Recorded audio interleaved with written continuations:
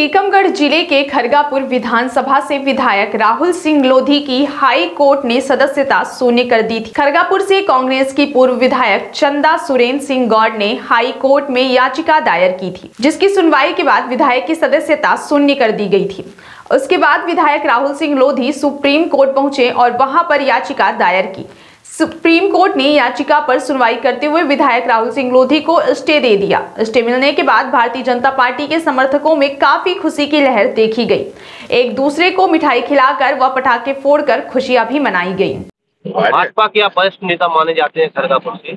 आज विधायक राहुल सिंह लोधी को सुप्रीम कोर्ट से बड़ी राहत मिली है। स्टे मिला है। क्या कहेंगे ये भारतीय जनता पार्टी के जो लगनशील कार्यकर्ता हैं उनकी मेहनत का रंग इसको कोई कितने के जोठला है। कांग्रेस बारे मूड पटक के मार जाए। इसके बाद भी कुछ होने वाला नहीं था। क्योंकि हम लोग मेहनत करते हैं। गरीब जनता की दया करके उनकी सहायता करते हैं। ये तो हो नहीं था। जिस चीज़ पे उन्हें निलंबन किया गया था वो इतनी बड़ी बात नहीं थी कि इतना बड़ा उनको मतलब दंड दिया जाए।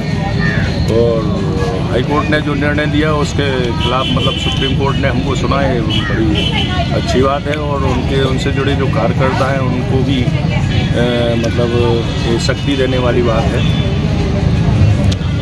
जो खरगापुर से पूर्व विधायिका थी चंदा सुरन सिंह और कांग्रेस से उनके समर्थकों में काफ़ी खुशी देखी गई थी। शून्य होने के बाद क्या कहेंगे इस पर आप? कैसा? जो सदस्यता शून्य होने के बाद विधायक की जो सदस्यता शून्य की थी हाईकोर्ट ने उसके बाद कांग्रेस समर्थकों में काफ़ी उत्साह था खुशी मनाई जा रही थी। अब उन्हें स्टे मिला है कहीं ना कहीं राहत मिली है। क्या कहेंगे इस पर देखो किसी भी पार्टी या अपने नेता की मतलब किसी भी प्रकार की सफलता के लिए उनके कार्यकर्ताओं का मतलब उत्साह निश्चित है कि होता ही है। तो तब उनके दल में खुशियाँ थी। आज हमारे दल में बहुत ढेर सारी खुशियाँ हैं।